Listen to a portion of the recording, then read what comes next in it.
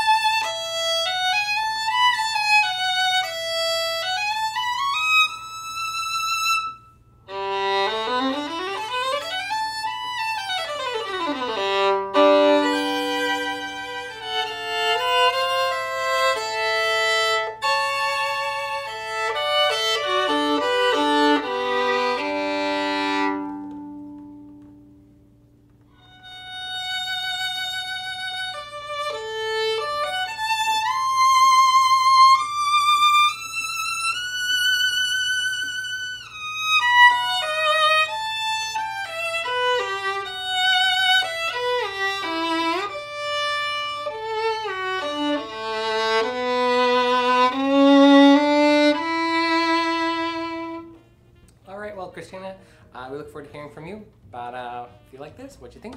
Uh, for everybody else, if you're watching this, you'd like to learn more about the Fiddlerman Symphony Violin, just follow the links to see here below. or in the video too. Thanks so much, and we look forward to seeing you at fiddlershop.com. I hope that was informative and helpful. Yeah, if you want to buy this product, just click right up here. Right Do there. it. There, we do would it. also love it if you subscribe to our channel so we can keep in touch.